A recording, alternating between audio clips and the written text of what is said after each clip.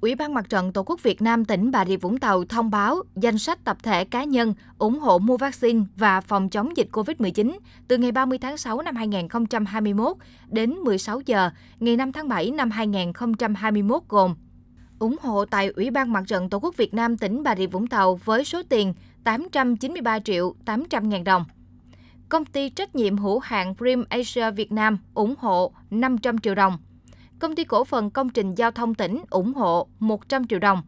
Công ty nhiệt điện Phú Mỹ ủng hộ 100 triệu đồng.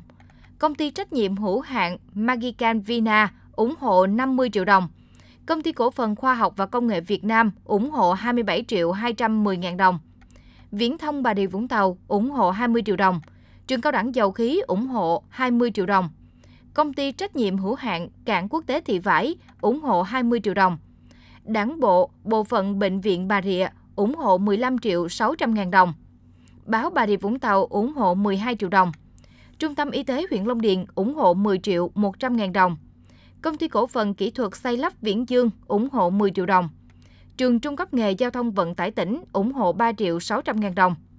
Ông Trần Kim Khuê, Phó Giám đốc Công ty trách nhiệm hữu hạn sản xuất và xuất nhập khẩu nón lá, ủng hộ 1 triệu 490 ngàn đồng. Trung tâm Kiểm nghiệm Dược phẩm tỉnh ủng hộ 1 triệu 300 ngàn đồng. Ông Nguyễn Văn Dũng, số 19 Hùng Vương, phường 4, thành phố Vũng Tàu, ủng hộ 1 triệu đồng. Ông bà Lại Văn Cập, ấp Phước Lộc, xã Phước Hội, huyện Đất Đỏ, ủng hộ 1 triệu đồng. Ông Nguyễn Hữu Tiên, nhà nghiên cứu rau hoa quả, ấp Núi Nhọn, xã Láng Dài, huyện Đất Đỏ, ủng hộ 500.000 đồng.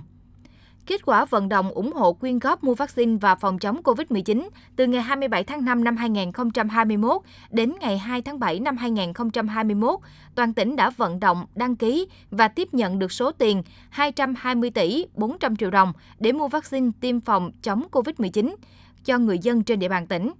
Đăng ký ủng hộ đã có gần 1.350 cơ quan đơn vị đăng ký ủng hộ với tổng số tiền là 220 tỷ 400 triệu đồng. Trong đó, đăng ký tại Ủy ban Mặt trận Tổ quốc Việt Nam tỉnh 186 tỷ đồng, đăng ký tại Ủy ban Mặt trận Tổ quốc Việt Nam các huyện, thị xã, thành phố 34 tỷ 400 triệu đồng. Đã tiếp nhận ủng hộ. Kết quả vận động ủng hộ tiền tại mặt trận các cấp. Toàn tỉnh đã tiếp nhận ủng hộ được số tiền 147 tỷ 400 triệu đồng. Trong đó, tại Ủy ban Mặt trận Tổ quốc Việt Nam tỉnh 113 tỷ đồng. Tại Ủy ban Mặt trận Tổ quốc Việt Nam các huyện, thị xã, thành phố 34 tỷ 400 triệu đồng.